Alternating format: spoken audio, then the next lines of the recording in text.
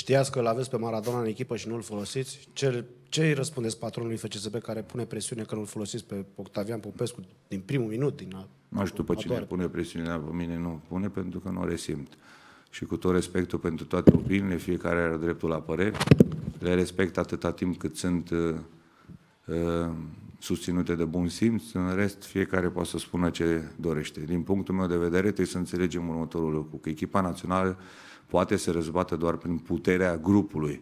Un grup solid, unit, puternic mental, în care toată lumea să tragă în aceeași direcție. Dacă vorbim de individualități și de zeci de milioane, cum am mai vorbit în viitor, o să mai vedem multe turnee finale la televizor.